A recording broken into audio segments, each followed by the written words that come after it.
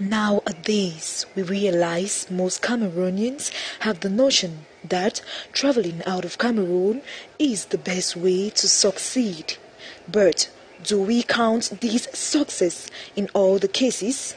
No, not all Cameroonians who go out there succeed. Some even make money under very harsh conditions. Either they kill, prostitute, steal, or even carry out some minimal jobs and other activities like drug dealing. All these eventually could one day lead to their untimely death. I traveled abroad thinking I was going to find more greener pastures.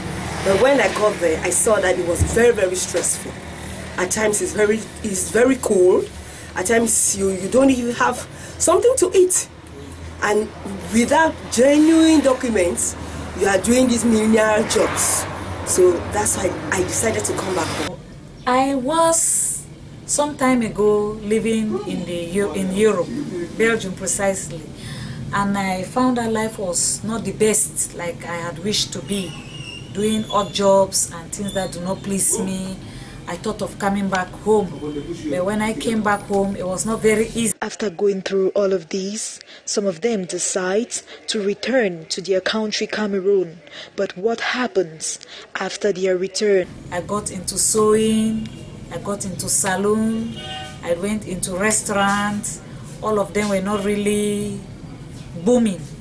And then I thought that I could do some innovation.